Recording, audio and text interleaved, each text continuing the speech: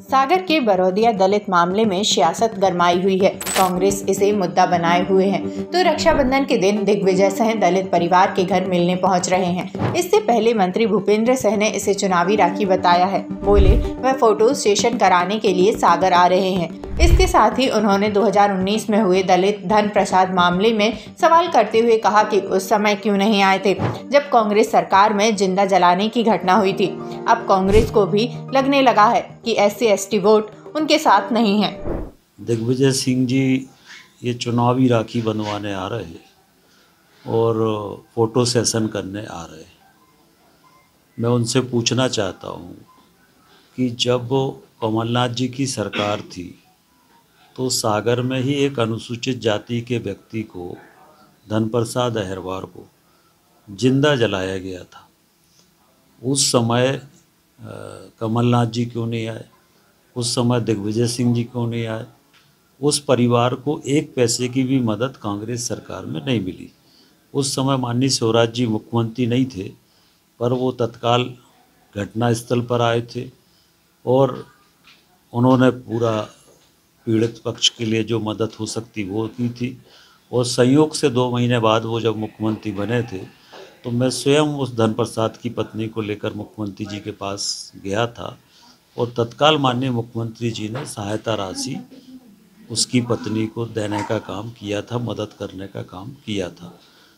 तो ये जो है, ये चुनावी राखी है और चूँकि चुनाव है और कांग्रेस को इस समय लगता है कि पूरा जो एससी वोट है वो अब कांग्रेस के साथ नहीं है।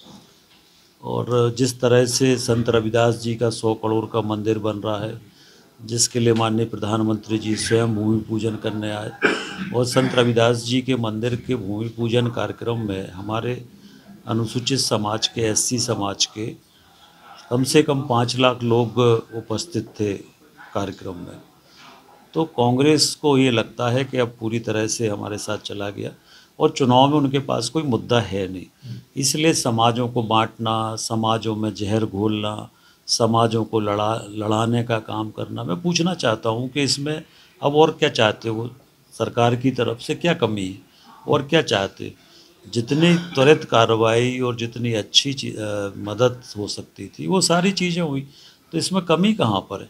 तो ये कुल मिलाकर राजनीति कर रहे हैं, क्षेत्र का वातावरण समाप्त करने की, वातावरण बिगाड़ने की कोशिश कर रहे हैं। प्रदेश की सामाजिक समरसता को बिगाड़ने का कोशिश कर रहे हैं, प्रदेश में दंगे कराने की कोशिश कर रहे हैं, क्योंकि चुनाव में इनके पास कोई मुद्दा है नहीं। इसलिए लोगों को आपस में लड़ाओ, जाति का जहर फैलाओ और वोट लो, ये कांग्रेस की रणनीति। आपका अपना खेमचंद हॉस्पिटल अब नए अवतार में अत्याधुनिक सुविधाओं के साथ। 24 घंटे एंबुलेंस सुविधा emergency service male and female general ward अत्याधुनिक सुविधाओं के साथ operation theatre S I C U x-ray pathology lab private room speciality doctors के साथ Khemchand Jain hospital and research centre Bada Bazaar, Keshavganj ward, Sagar. हमारा number है seven eight nine eight nine two two six nine nine 9109200503